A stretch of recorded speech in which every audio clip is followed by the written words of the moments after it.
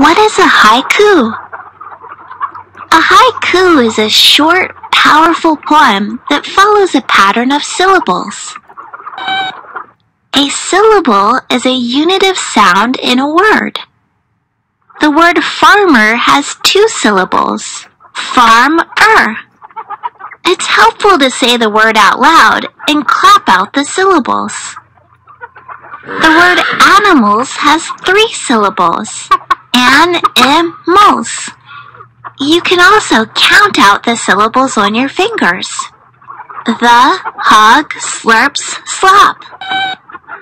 Right, that sentence has four syllables. Haikus were first written in Japan hundreds of years ago. A haiku has only three lines. The first line has five syllables. The second line has seven syllables. And the last line has five syllables. The bucking bronco, dancing in the scorching heat, forgets summer sun. Haikus can focus on one moment in nature or describe something special about a season. Going to the farm, animals playing in June. Boy, does it smell bad. Moby. Hi, boys and girls. That was a great video from Annie and Moby. So you must know today we're going to learn a new form of poetry called haiku. Our target is still I can compose literary texts such as poetry. Let's get started. From the video, we learned that a haiku is an ancient Japanese form of poetry.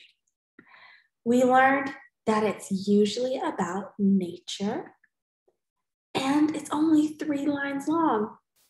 Super short.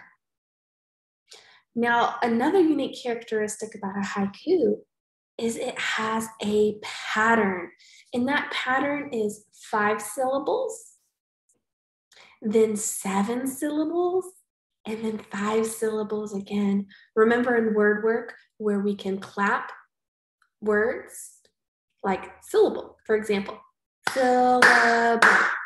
That's three. So a haiku is three lines long.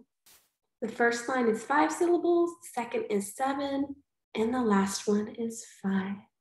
Let's read some examples of some really good haikus. All right, here's our first haiku. Firelight from the past, I wink in the frozen sky, waiting for wishes. Ooh, that poem is about what? Stars. Very good. And stars are a part of nature. So let's see if we can clap out the syllables in each line. All right, the first line fire, light, from the past. All right, fire, light, from the past. Oh, that first line has five syllables. All right, the second one should have seven. Let's check. I wink in the frozen sky. I wink in the frozen sky. Yes, that line does have seven. All right, our last line should have five syllables again. Let's see. Waiting for wishes. Waiting for wishes. Yep, that last line has five. There's our pattern. Five, seven, five. Pretty easy, right? Oh, let's look at another haiku. Fire in our bellies, we flicker, flash, and twilight. Rich meadow of stars. That's also about nature. It is about fireflies. All right, let's clap the syllables in each line. Let's start with line one. Fire in our bellies. Fire in our bellies. Five syllables. We flicker, flash in twilight. We flicker, flash in twilight. Seven syllables. All right, the last one should be what? five. Let's see. Rich meadow of stars. Rich meadow of stars. Five syllables. Five, seven, five. That's a beautiful poem. And I can see what they're talking about in my head. They use so much imagery, just like we've been talking about in reading. All right, let's do one more. My fluffy seeds drift, tiny puffs lift in the breeze, and land who knows where.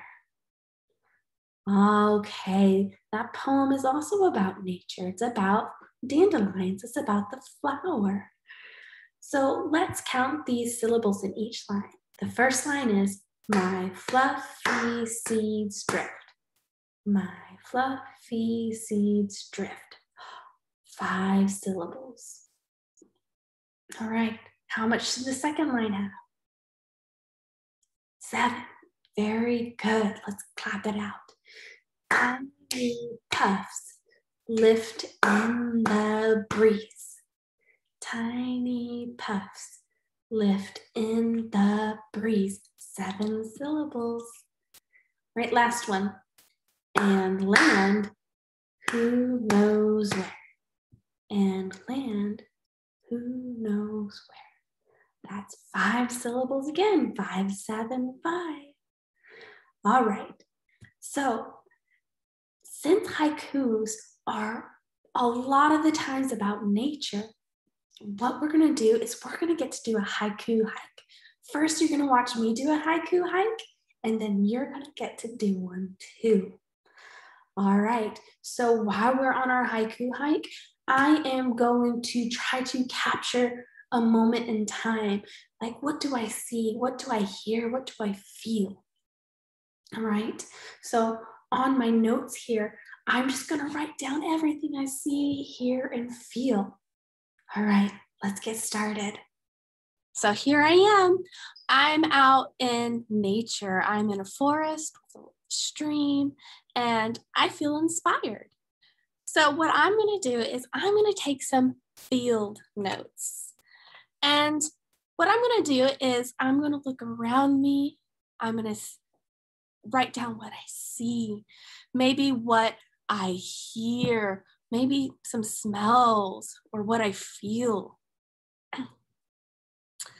And what I'm going to do is I'm going to write down all these things and I'm going to use my notes to make a haiku. All right, so first thing I'm going to do is I'm going to look around. Ooh, I see, I see lots of green. Hmm, green moss, green trees. So I'm going to write that down. Green moss, green trees. Hmm, what else do I see? Oh, I see a stream. Ooh, and a lot of rocks, different sizes. So I'm to put different rocks. Ooh, I might want to use boulders even. Boulders, stones. I see some stones in that river. Just like in science, and remember, I learned that about rocks. There's different sizes. Um, let's see. What else do I see here? Hmm. Oh, I see lots of plants plants. Hmm. Oh, there's so much. Now, maybe what do I hear? Hmm, I hear I hear the water moving. It sounds like it's kind of like babbling, you know, kind of like talking in its own little language. So I'm going to put babbling. And I'm going to use brook, which is another word for stream because I like that alliteration, babbling brook. I like how they both have that same beginning sound, babbling brook. Ooh, I like that. Hmm, what else do I hear? I'm listening. Oh, I hear the, the leaves kind of moving in the wind. Hmm. Rustling. Oh, they're rustling. I like that word too. Rustling leaves. I'm going to put that on my notes right here. Rustling leaves. I also hear some birds. I hear birds tweeting or singing. Birds. I can use all kinds of words. Tweeting. Okay.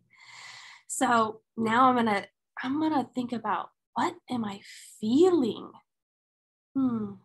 Well, I feel that the water is on the cooler side. So cool water. Cool water. Ooh, I'm gonna put on my toes because I have my feet in the water. Cool water on my toes. Hmm, what else do I feel? Oh, I feel the gentle breeze on my skin.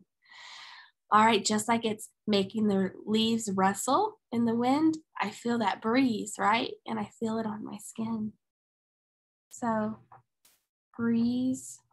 Oh, I might put gentle breeze, gentle breeze on my skin. Oh, these are some really good notes. I'm really capturing this moment of being in the forest. And that's what a haiku does. It just capture, captures a moment in time. Okay, let's see. Did I forget anything? Is there anything else that I can add to my field notes? Oh, maybe as the water's hitting the rocks, maybe some of it's like misting. All right, I could put that misting water. There's so many things. All right, so I have quite a bit of notes here. And what I'm gonna do is I'm gonna show you how to take your notes from nature, things that you see, you hear, you feel, and I'm gonna show you how to turn it into a haiku. All right, let's get started. All right, so here are all of my notes for my haiku hike when I was in the stream, in the forest. So I'm going to take some of the things that I saw, some of the things that I heard or felt, and I'm going to try and use some of these words and put it into a 575 syllable pattern. So, hmm, maybe I want to talk about what I saw first. Well, I saw some green moss, green moss, and it covered the rocks. So maybe I could say I'm green moss covers rocks. Green moss covers rocks. That's five syllables, and I'm saying what I saw.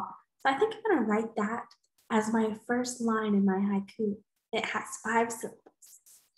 Okay. My next line has seven syllables, so I can use some more words or some bigger words there. Hmm, maybe I want to do what I felt. So I felt, oh, I, I know I felt the breeze. It was gentle. Um, it was on my skin. So breeze, gentle on my skin. Uh oh, that's only six, and I need seven. So, hmm, maybe I can describe the breeze a little bit more. Hmm. Oh, it was cool. So maybe I could say, cool breeze, gentle on my skin. Oh, that's seven syllables. That would work for my second line. So I'm going to say that cool breeze, gentle on my skin. All right, so I've done what I've seen, I've done what I felt maybe this last one, it can be what I heard. Hmm. Oh, birds tweeting. I really like that. Birds tweeting. Oh, that's only three syllables.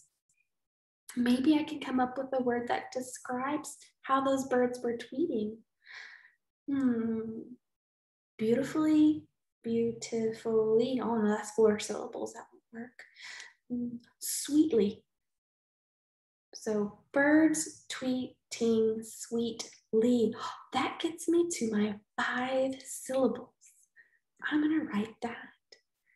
So it just takes some give and take. You might take some words out, you might need to add some words, but you can do what you need to do to get to those five, seven, five syllables. All right, let's read my haiku and let's see if we can imagine, use that imagery to see if we can see in our mind what my poem's about. All right, close your eyes. Green moss covers rocks, cool breeze gentle on my skin, birds tweeting sweetly. All right, open your eyes. Could you see where I was in my poem? I could. And that's what poetry is all about, and especially haikus. You want your reader to see, feel, or hear where you are or what you're doing in nature. Okay. Now it's going to be your turn. If you're at school, you're going to have a paper just like this, and your teacher is going to take you outside and you're going to write all over this paper what do you see, hear, feel. Use those very interesting words that we've always talked about in writing, okay?